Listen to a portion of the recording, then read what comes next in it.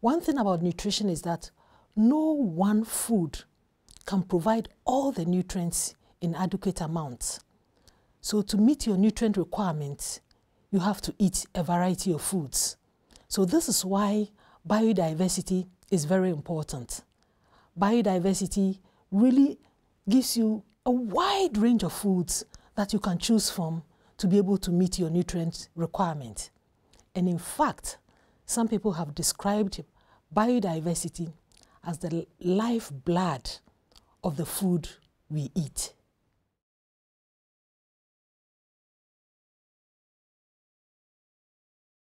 There are gaps at two levels.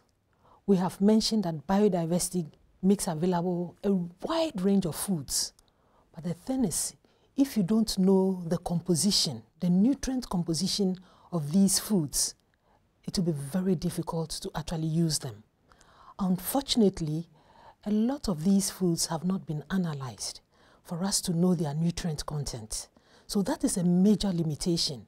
So that is the first gap, the need to know the nutrient composition of the various breeds, cultivars, and varieties of foods and animal resources that are available to us. The second gap is the lack of awareness. You know, awareness on the part of professionals, awareness on the part of consumers. For example, um, if agriculture people know the nutrient content of the various breeds and cultivars and varieties, they will actually breed some of these nutrient-rich uh, uh, food resources and make them available. Also, awareness on the part of consumers is the fact that they don't know, so the consumers don't know what to choose from. When you go to the supermarket, the regular banana, which is the Cavendish yellowish beautiful banana, is what everybody knows. These bananas are virtually empty of vitamin A. They do not have any vitamin A. But there are other species of bananas, less well known, maybe may not be as beautiful as these yellow ones, but are so rich in vitamin A. They can provide as much as 8,000 milligrams of carotene. See, so not knowing uh, or the lack of awareness is, is a problem because consumers cannot really choose the uh, nutrient-rich foods that they should be doing because they don't know. So that's also another major uh, gap that we need to work on.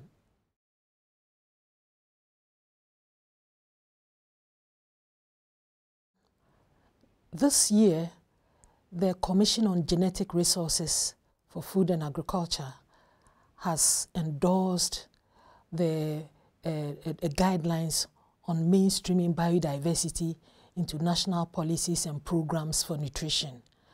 I think that that is the place to start. It should be the first point of call. That document was endorsed by FAO member states at the Commission, and the document actually provides information on what countries can do and the entry point through which they can uh, mainstream biodiversity. Briefly, uh, the document uh, talks about to be able to do this, countries must decide which sectors they want to bio, uh, mainstream biodiversity.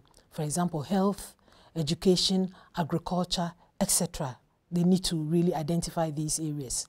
Secondly, they need to form multi-sectoral groups to actually deliberate on this issue that they are indeed committed to integrating biodiversity into their, their programs. Third, they need to identify the nutritional problems within the country that they want to address and how biodiversity can contribute to it.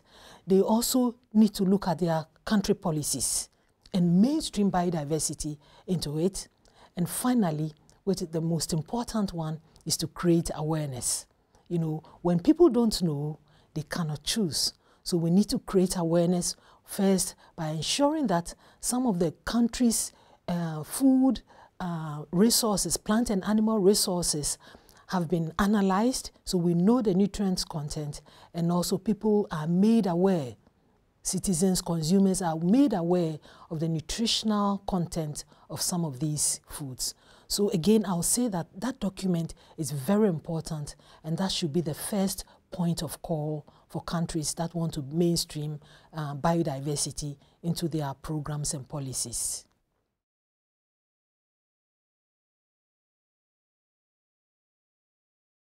ICN2 highlighted that our current food systems are not delivering on nutrition.